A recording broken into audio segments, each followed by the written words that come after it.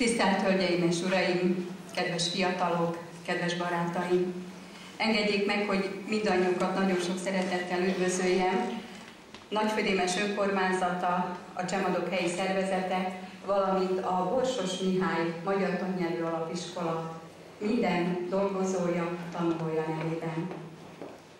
Március 15-e nekünk magyaroknak, a magyar állam határain belül és szerte a nagyvilágban élőknek a legnagyobb nemzeti ünnepünk. Jelesebbnél jelesebb írók, költők vetették papírra a haza szeretetét és annak varázslatos szépségeit. Egyszer volt, volt sok magyar, kik megértették egymást. Hosszé szólva a